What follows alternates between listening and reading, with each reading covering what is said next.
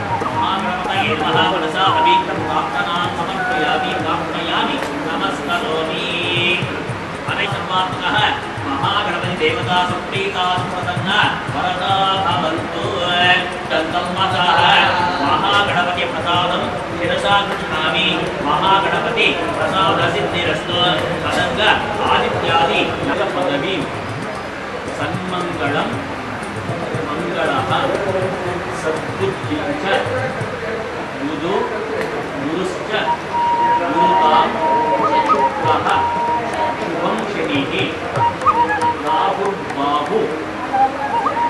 करोतु विजयं हेतुः कुलस्य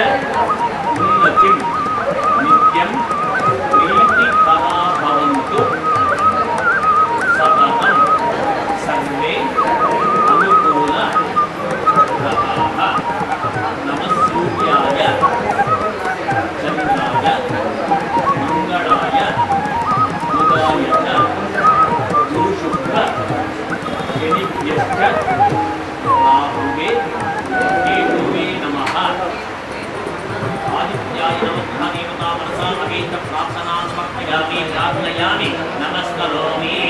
सदङ्गयामि आवाहयामि।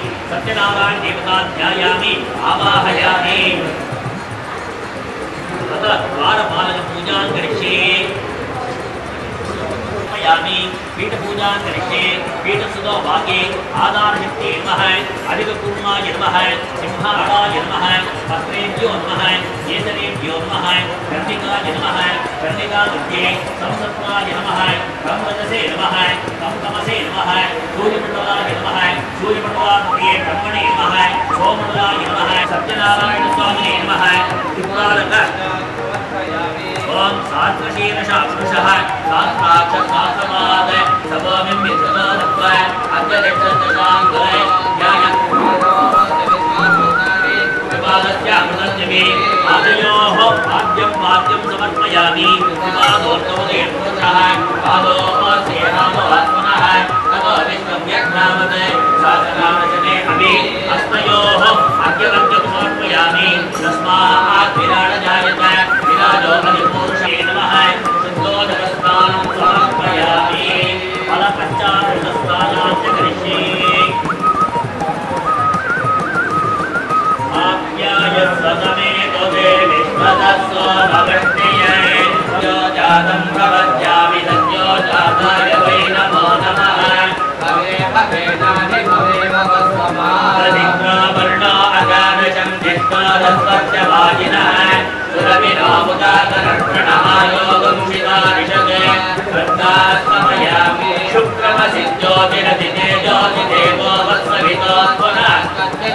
पवित्रेण वसो सूर्यस्य रश्मिभिः आद्येन स्तमयामि वधुवातारुताय देवदक्षरन्ति सिन्धवः आत्माद्वीर्कामो भवन्तु नः पुनः स्तमयामि स्वागत्वमस्वदिव्याय जन्मने स्वागतन्द्राय सागेतनाथे स्वागतमित्राय वरुणाय वाजपेत्रहस्तये पञ्चपुष्पणे बृहस्पतिपदो आत्मानो वञ्चर्कं नमः भोगेन स्तमयामि आभोगिष्ठामि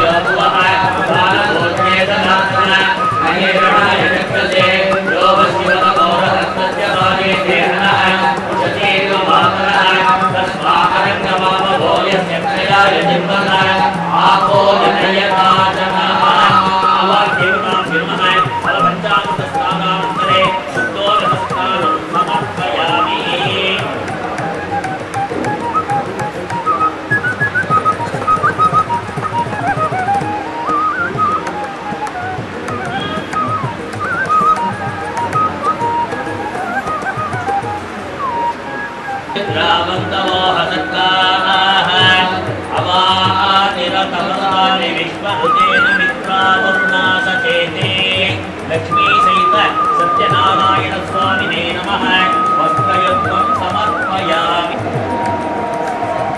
वस्त्रयुग्मं समर्पयामि। यज्ञोन्यासि देवालीया दाताया सरस्वती इन्द्राणि मह्मभूतये रुद्राणि पुस्तये हरिद्राचूर्णं समर्पयामि। अप्रजस्ता इव स्तुतिस्प्रजस्तिनम्बरस्मृति कुङ्कुमचूर्णं समर्पयामि। सिन्दूरादि द्रव्याणि समर्पयामि आल्यानि च सुगन्धीनि आदित्यादिमयं तव मया प्रदाने पूजार्थं पुष्पाणि प्रतिकृत्यतान् पुष्पमालिकान् समर्पयामि। पुष्पै पूजयामि अदान्तपूजान्तरिक्षे करिष्ये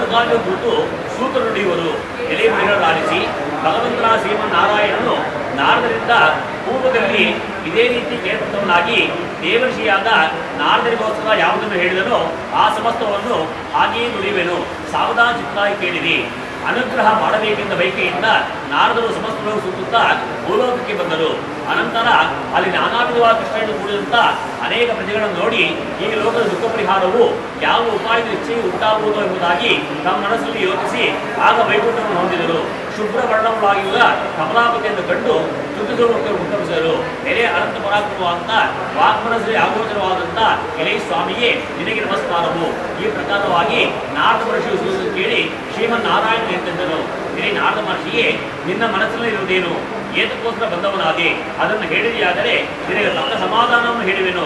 ಈ ಪ್ರಕಾರವಾಗಿ ಭಗವಂತ ನುಡಿಯಲಾಗಿ ನಾಲ್ವರು ಹೇಳುವರು. ಎಲೆ ಭಕ್ತವತ್ಸಲನೆ ಪೂರ್ವದಲ್ಲಿ ಹುಟ್ಟಿದಂಥ ಸಕಲ ಮಾನವರು ತಮ್ಮ ತಮ್ಮ ಪಾಪ ಕರ್ಮಗಳಿಂದ ದಯಿಸಲ್ಪಡುತ್ತಿರುವರು ಇಡೀ ಸ್ವಾಮಿಯೇ ಸುಲಭವಾಯದಿಂದ ಲೋಕ ಸಂಕಟವು ಎಂದು ಪರಿಹಾರವಾಗುವುದು ಆ ಸಮತ್ವವನ್ನು ಕೇಳಬೇಕು ನನಗೆ ನಿಲ್ಲದೆ ಪರಲೋಕದಲ್ಲಿ ಮುಕ್ತಿ ಪಡೆಯುವರು ಎಂಬುದಾಗಿ ದುಡಿದ ಬಹುದಾತ್ಯವನ್ನು ಆಲಿಸಿ ನಾಲ್ಕು ಮನುಷ್ಯ ಎಂದಿದ್ದನು ಇದೇ ಜಗದೊಡನೆ ಸತ್ರಾಣ ವ್ರತವು ಮಾಡುವ ಫಲವೇನು ಮತ್ತು ವಿಧಾನವೆಂದು ಯಾರಿಂದ ಪೂರ್ವದಲ್ಲಿ ವ್ರತವು ಮಾಡಲ್ಪಡುವುದು ಈ ವ್ರತವು ಮಾಡುವ ಕಾಲವಾಗುವುದು ಇವೆಲ್ಲವನ್ನು ವಿಸ್ತಾರವಾಗಿ ಹೇಳಬೇಕೆಂದು ಕೇಳಿದ ನಾರದರಿಗೆ ಭಗವಂತನು ಇಂತಿದ್ದನು ಈ ವ್ರತವು ದುಃಖ ಶೋಕಾದಿಗಳನ್ನು ಪರಿಹರಿಸುವುದು ತನ್ನ ಧಾನ್ಯಾಡು ಸಮೃದ್ಧಿಪಡಿಸುವುದು, ಸೌಭಾಗ್ಯ, ಸಂತಾನವನ್ನು ಉಂಟು ಮಾಡುವುದು ಎಲ್ಲ ಕಡೆಯಲ್ಲೂ ಜೈವನ್ನು ಉಂಟು ಮಾಡುವುದು ಯಾವ ದಿನದಲ್ಲಿ ಮನುಷ್ಯನಿಗೆ ಈ ವ್ರತ ಮಾಡಬೇಕೆಂಬ ಉಂಟಾಗುವುದೋ ಆ ದಿವಸ ಭಕ್ತಿ ಶ್ರದ್ಧೆಯಿಂದ ಕೂಡಿ ಸಾಯಂಕಾಲದಲ್ಲಿ ಸತ್ಯನಾರಾಯಣ ಸ್ವಾಮಿ ಅರ್ಪಿಸಬೇಕು.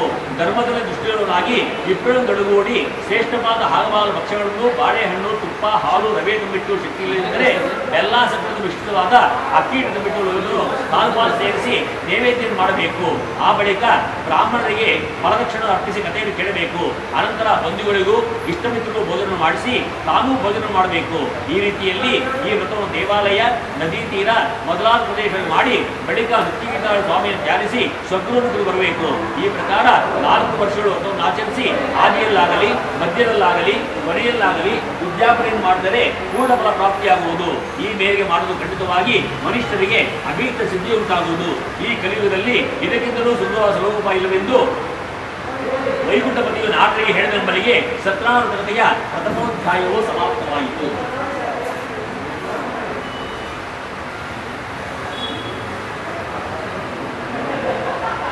ಎರಡನೇ ಅಧ್ಯಾಯ ಸೂತ್ರ ಮುಂದುವರಿಸುವರು ನಂತರ ವಿಷ್ಣು ನಾವು ಇತಿಹಾಸ ಉಂಟು.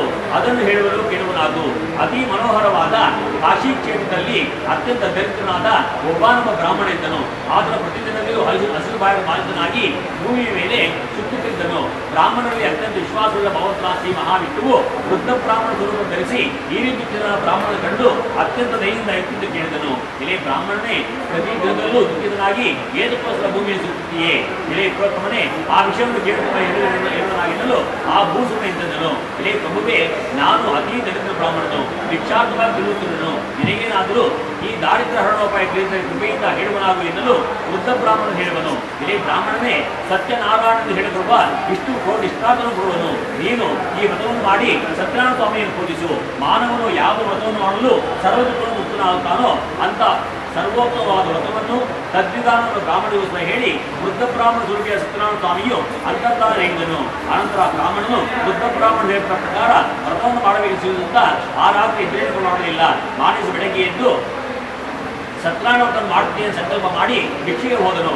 ಆ ದಿನದಲ್ಲಿ ಬ್ರಾಹ್ಮಣರು ವಿಶೇಷವಾದ ಹಣವನ್ನು ಹೊಂದಿದನು ಆ ಹಣದಿಂದಲೇ ಬಂಧುಗಳೊಡಗೂಡಿ ಸತ್ಯನಾರಾಯಣ ಸ್ವಾಮಿ ಅವರನ್ನು ಆಚರಿಸಿದನು.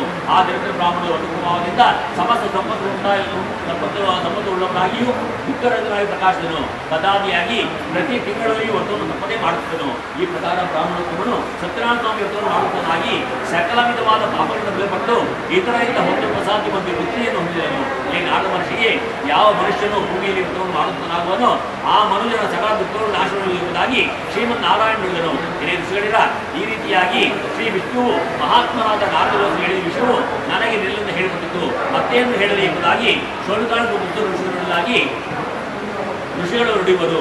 ಎಲೆ ಮಹರ್ಷಿಗೆ ಈ ವ್ರತವನ್ನು ಈ ಆ ಬ್ರಾಹ್ಮಣನ ಕೇಳಿ ಭೂಮಿಯಲ್ಲಿ ವ್ಯತ್ಯಾಸ ಆಗ್ಬಿಟ್ಟು ಆ ಸಮತ್ವವನ್ನು ಬೇಡದಿಂದ ನಮ್ಮ ಅಪೇಕ್ಷೆ ಮುಕ್ತಿ ಎನ್ನಲು ಸೂತ್ರ ಹೇಳುವರು. ಎಲೆ ಮುಡಿಗಳ ಭೂಮಿಯಲ್ಲಿ ಈ ವ್ರತವು ಯಾರಿಂದ ಪೂರ್ವದಲ್ಲಿ ಮಾಡಿಬಿಟ್ಟು ಆ ಸಮತ್ವ ಕೇಳಿರಿ ಒಂದಾ ಸಮಯದಲ್ಲಿ ಪೂರ್ವೋತ್ತರಾದ ಬ್ರಾಹ್ಮಣೋತ್ತಮನು ವಿಶೇಷವಾಗಿ ಪೂರ್ವೋತ್ತರದಲ್ಲೂ ಸ್ವಜರಾದ ವೆಂಕಟೇಶ್ವರರು ಪೂರ್ವಕನಾಗಿ ಈ ವ್ರತವನ್ನು ಮಾಡಲು ಯತ್ನಿಸಿದನು. ಆ ಕಾಲದಲ್ಲಿಯೇ ಕಟ್ಟಿಗೆ ಮಾಡಲು ಬಂದನು ಬಂದ ಕಾಷ್ಟಗ್ರಾಹಿಯು ಮನೆಯಲ್ಲಿ ಏನೋ ಒಂದು ಭಕ್ತಿ ಉಂಟಾದ ಬೆಳಗಿ ಬ್ರಾಹ್ಮಣನ ಕುರಿತು, ಇರೇ ಸ್ವಾಮಿಯೇ, ನಿಮ್ಮಿಂದ ಆಚರಿಸಲ್ಪಟ್ಟಿರುತ್ತವಾಗದು ಇದನ್ನು ಆಚರಿಸಿದ ಎಂಥ ಫಲವನ್ನು ಹೊಂದಬಹುದು? ವಿಶದವಾಗಿ ನಾನು ತಿಳಿಸಬೇಕೆಂದು ಪ್ರಾರ್ಥಿಸುವ ಕಟ್ಟಿಗೆ ಮಾಡುವ ಕುರಿತು ಬ್ರಾಹ್ಮಣ ಹೇಳುತ್ತಾನೆ.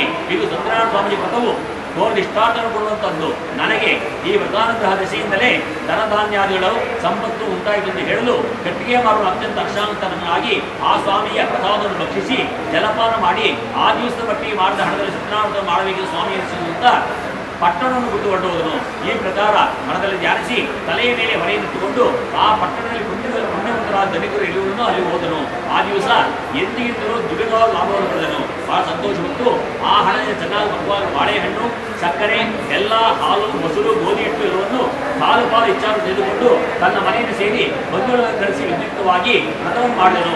ಆ ವ್ರತ ಭಾವದಿಂದ ಅವರ ದಾನದಾಂತರೆಲ್ಲರೂ ಉತ್ತಮವಾದ ಕೂಡಿದವರಾಗಿ ಈ ಭೂಲೋಕದಲ್ಲಿ ಬೇಕಾದ ಶೋಕಿಯನ್ನು ಅನುಭವಿಸಿ ಅಂತ್ಯದಲ್ಲಿ ಸತ್ಯನಾರಾಯಣ ಸ್ವಾಮಿ ಲೋಕ ಸತ್ಯನಾರಾಯಣ ತಂದೆಯ ಎರಡನೇ ಅಧ್ಯಾಯವು ಸಮಾಪ್ತವಾಗಿತ್ತು. ಸೂತ್ರ ಹೇಳುತ್ತಾರೆ, ಎಲೆ ಮುನಿಶ್ರೇಷ್ಠರ ಪುನಃ ಸತ್ಯನಾರಾಯಣ ವ್ರತವನ್ನು ಆಪ್ತಿ ನೃತ್ಯ ಕೇಳುವುದಾಗಿ. ಪೂರ್ವದಲ್ಲಿ ಎಂಬ ರಾಜರಿದ್ದನು. ಜಿತೇಂದ್ರನಾಗಿ ಇರುವ ಇರುವ ಬುದ್ಧಿಶಾಲಿಯಾಗಿದ್ದ ಆತನು ದೇವ, ಪ್ರತಿದಿನ ದೇವಾಲಯಕ್ಕೆ ಹೋಗಿ ದೇವತಾರಾಧನೆಯನ್ನು ಮಾಡಿ ಬ್ರಾಹ್ಮಣಿಯ ತೆಗೆದುಕೊಂಡು ಕೊಟ್ಟು ಸಂತೋಷಪಡ್ತಾ ಇದ್ದನು. ಒಂದಾ ಸಮಯದಲ್ಲಿ ಆತನ ಪತ್ನಿಯಾಗಿರುವ ಭದ್ರಶೀಲ ಎಂಬ ಸ್ತ್ರೀಯು ಪತಿಯುಕ್ತವಾಗಿ ನದಿ ತೀರದ ಸತ್ಕಾಮವನ್ನು ಮಾಡಿದಳು. ಆ ಸಮಯದಲ್ಲಿ ಅಲ್ಲಿಗೆ ಒಬ್ಬ ವರ್ತಕನು ವ್ಯಾಪಾರಕ್ಕೋಸ್ಕರ ಬಹು ದ್ರವ್ಯಯುಕ್ತನಾಗಿ ಬಂದು ವ್ರತವನ್ನು ಮಾಡ್ತಿರುವ ರಾಜನ ಬಿಟ್ಟು ಮನೆಯ ಸೇರಿದನು. ಸಂತಾನಪರವಾದ ಈ ವ್ರತವಾಕ್ಯವನ್ನು ತನ್ನ ಜೊತೆಗೆ ಹೇಳಿ ಯಾವಾಗ್ಯ ತನ್ನ ಸಂತಾನ ಪ್ರಾಪ್ತಿಯಾಗುವುದೋ ಆಗ್ಗೆ ವ್ರತವನ್ನು ಮಾಡುವೆಂದು ಅರ್ಜಿಕೊಂಡು ಕೆಲವು ದಿನಗಳಲ್ಲಿ ಋತುಸ್ನಾನ ಗೀತಾವನ ಇಲಾಖೆಯು ಪತಿಯೊಡನೆ ಸಂತೋಷಗೊಂಡಿರಲು ಸತ್ಯನಾರಾಯಣ ಸ್ವಾಮಿಯ ಪ್ರಭಾವದಿಂದ ಆ ದಿನದಿಂದಲೇ ಗರ್ಭವನ್ನು ಧರಿಸಿ ಹತ್ತನೇ ತಿಂಗಳಲ್ಲಿ ಪುತ್ರಿಕಾರ್ಥವನ್ನು ಪಡೆದಳು. ಶುಕ್ಲಪತ್ರ ಚಂದ್ರೋಪಾದಿಯಲ್ಲಿ ಆ ಬಾಲಿಯ ದಿನದಿನಕ್ಕೂ ವೃದ್ಧಿಯನ್ನು ಪಡೆಯುತ್ತಾ ಕಲಾವತಿ ಎಂಬ ಹೆಸರನ್ನು ನಾಮಕರಣ ಮಾಡಿಕೊಂಡಳು. ಆಗ ಲೀಲಾವತಿ ಎಂಬ ವರ್ತನ ಬಾಲಿಯು ತನ್ನ ಪತಿಯನ್ನು ನೋಡಿ ಪ್ರಯೋಜನ ತಿಂದಳು ಸ್ವಾಮಿಯೇ, ಪೂರ್ವದಲ್ಲಿ ರಥಮಿಸಿದ ರಥವನ್ನು ನೀ ಎಂತಕ್ಕಾಗಿ ಮಾಡಲಿಲ್ಲ. ಎನ್ನಲಾಗಿ ವರ್ತಕರು ಹೇಳುವ ಕ್ರೀಡೆ ಹೀಗೆ ವಿವಾಹ ಮಾಡುವ ಸಮಾಧಾನ ಬಳಿಕ ವರ್ತಕರು ಇಬ್ಬರು ವಿಚಾರಣೆ ಇಲ್ಲದೇನೆ ರಾಜಾಜ್ಞೆಯಿಂದ ಬಲವಾದ ಅಗ್ರಣ ಕಟ್ಟಲ್ಪಟ್ಟು ಮಹಾ ಕಷ್ಟ ಸಾಧ್ಯವಾದ ಕಾರಾಗೃಹದಲ್ಲಿ ಎದುರುಪಟ್ಟರು ಚಂದ್ರಕೇತು ರಾಜನಿಂದ ಜನರು ಯಾವತ್ತೂ ಕೈಸಲ್ಪಟ್ಟಿತು. ಇದಲ್ಲದೆ ಸ್ವಾಮಿಯ ಶಾಪದಿಂದ ಯಾವ ಮನೆಗಳಲ್ಲಿ ಹೆಂಡಸರಿಗೆ ಬಹು ಹೆಸರು ಉಂಟಾಯಿತು. ಮನೆಯಲ್ಲಿದ್ದ ದ್ರವ್ಯವೆಲ್ಲವೂ ಕಳ್ಳರಿಂದ ಅಪಹರಿಸಲ್ಪಟ್ಟಿತು ಆದಿ ವ್ಯಾಧಿಗಳಿಂದಲೂ ಹಸಿವು ಬಾಯಾರದಿಂದಲೂ ಅನ್ನಾಕಾಂಕ್ಷ ಬಾಯಿಯರು ಆಹಾರಕ್ಕಾಗಿ ಮನೆಯನ್ನು ಸುತ್ತಿದ್ದರು ಒಂದಿನ ದಿನ ಕಲಾವತಿ ಎಂಬ ಕನ್ಯೆಯು ಸುಧಾ ಪ್ರಸಾದ ಭಕ್ಷಿಸಿ ರಾತ್ರಿಯನ್ನು ಕಳೆದು ತನ್ನ ಮನೆಯನ್ನು ಸೇರಿದಳು ತಾಯಿಯು ಕಲಾವತಿಯನ್ನು ಕಂಡು ಅತಿ ಸ್ನೇಹದಿಂದ ಮಗಳೇ ರಾತ್ರಿಯಲ್ಲಿದ್ದೆ, ನಿನ್ನ ಮನಸ್ಸು ನೀನು ಹೇಳಿ ತಾಯಿ ಕೇಳಿದಳು. ಕಲಾವತಿಯು ತಾಯಿಯನ್ನು ಕಂಡು ನೆಲೆ ಮಾತೆಯೇ, ಒಬ್ಬ ಬ್ರಾಹ್ಮಣನು ತನ್ನ ಅನುಭವಗಳು ಇಷ್ಟಾರ್ಥವನ್ನು ಮಾಡುವ ಸತ್ರಾರ್ಥವನ್ನು ಮಾಡುತ್ತಿದ್ದನು ಅದನ್ನು ನೋಡ್ತಿದ್ದನು ಎಂದು ಹೇಳಿದ ಮಾತನ್ನು ಕೇಳಿ, ಆ ವ್ರತವನ್ನು ಮಾಡಲು ತಾನು ಯತ್ನಿಸಿ ಬಹು ಸಂತೋಷವೇ ವರ್ತಕರೇ ನಾಳೆ ಪ್ರಾಂತಗಳು ನೀವು ಬಂದು ಹೊಂಟಿರುವ ವರ್ತಕರು ನಿಮ್ಮಿಂದ ಗ್ರಹಿಸಲ್ಪಡುವ ದ್ರವ್ಯದ ಬೀಳುತ್ತದೆ ಇಲ್ಲದಿದ್ದರೆ ರಾಜ್ಯ, ಧನ ಸಮೇತ ನಾಶ ಮಾಡ್ತೀನಿ ಅಂತ ಹೇಳಿ ಅಂತರ್ಧಾನ ಹೊಂದಿದನು. ಆ ಮಾನೆಯ ರಾಜನು ಸಿಂಹಾಸನಾರೂಢವಾಗಿ ಸಮಾಜ ಸಮಾಜಗಳಿಗೆ ತನ್ನ ವೃತ್ತಾಂತ ತಿಳಿಸಿ ಎಂಬ ವರ್ತಕರನ್ನು ಜಾಗ್ರತೆಯಿಂದ ಬಿಡುಗಡೆ ಮಾಡುವಂತೆ ಆಜ್ಞಾಪಿಸಿದನು. ರಾಜಾಜ್ಞೆಯಲ್ಲಿ ಸೇವಕರು ಮಂದರದಿಂದ ಅವರನ್ನು ರಾಜಸೇವಕರನ್ನು ನಿಲ್ಲಿಸಿ, ಪ್ರಭುವೆ ಅಪ್ಪಣೆಯಿಂದ ನಡೆಸಿದ್ದೇವೆ ಎಂಬುದಾಗಿ ವಿನಯಪೂರ್ವಕವಾಗಿ ನುಡಿದು ವೃತ್ತಾಂತವನ್ನು ಸ್ಮರಣೆ ಹೇಳಲು ಭಯಾತವಾಗಿರಲು ರಾಜನ ವರ್ತನೆ ಕುರಿತು ವಿಶ್ವಾಸವಿಟ್ಟನು ಎಲೆ ವರ್ತಕರೇ, ದೈವ ಇದ್ದೆಯಿಂದ ನಿಮಗೆ ಮಹಾ ದುಃಖವು ಪ್ರಾಪ್ತವಾಯಿತು. ಇಲ್ಲಿ ನೀವು ಭಯಪಡಬೇಕಾಗಿರುವಂತೆ ಹೇಳಿ ಅವರ ಸಂತೋಷ ತಿಳಿಸಿ ವೃತ್ತಾವರದ ಅಲಂಕರಿಸಿ ಸಂತೋಷಗೊಳಿಸಿ ಕೂಡದಲ್ಲಿ ಅಪರಿಸಿದ್ದ ಅವರ ಎರಡರಷ್ಟು ದುಡಿಯನ್ನು ಕೊಟ್ಟು ಎಲೆ ಭಕ್ತರೇ ಸಂತೋಷದ ಸ್ಥಳಕ್ಕೆ ಹೋಗಿ ಬನ್ನಿ ಎನ್ನಲು ಭಕ್ತರು ರಾಜ ನಮಸ್ಕರಿಸಿ ಹೋಗಿ ಬರುವುದು ಎಂದು ಹಿಡಿದು ಸ್ವಸ್ಥಾನವನ್ನು ಕುರಿತು ಹೊರಡು ಇತ್ತಿರುವುದರೊಂದಿಗೆ ಸತ್ನಾಡು ಕೃತಿಯ ಮೂರನೇ ಅಧ್ಯಾಯ ನಾಲ್ಕನೇ ಅಧ್ಯಾಯ ಹಾಗಾಗಿ ಗೌಡರಾಗಲು ಅಲ್ಲಿ ಜನರು ಮನೆಯೂ ಸಹ ಮೃತ್ಯು ಹೋಗುವಾಗಲು ಅನಂತರ ಕಲಾವತಿಯನ್ನು ಕನ್ಯೆಯು ಅಪ್ಪಣೆರಿ ಇದನ್ನು ಹೇಗೆ ಮಾಡ್ತೀರಿ ಹೀಗೆ ಹೇಳಿದಂತ ಮಗಳ ವಾಕ್ಯವನ್ನು ಕೇಳಿ ಆ ವೈಶ್ಯರಿಗೆ ಬಹಳ ಸಂತೋಷ ಉಂಟಾಯಿತು. ಅನಂತರ ಯಥಾವಿಧಿಯಾಗಿ ಸತ್ಯನಾರಾಯಣ ಪೂಜೆಯನ್ನು ಮಾಡಿ ತನ್ನ ಬಂಧುವರ್ಗದ ಅನುಸರಿಸಲಾಯಿತು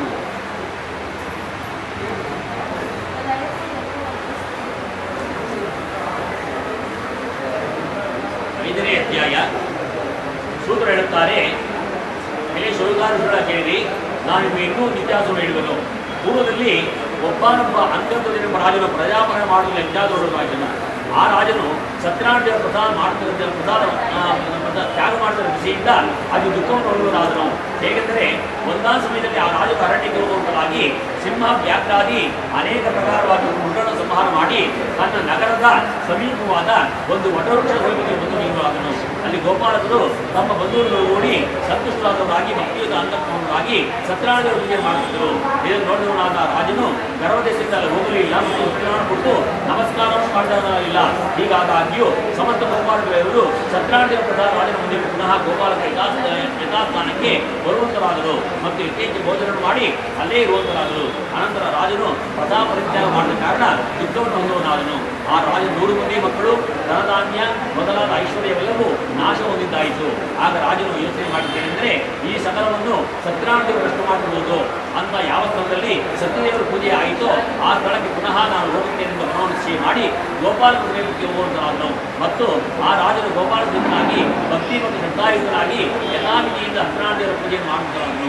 ಅನಂತರ ಆ ರಾಜನು ಸತ್ಯನಾರಾಯಣ ದೇವರ ಸದಾ ದಶೆಯಿಂದ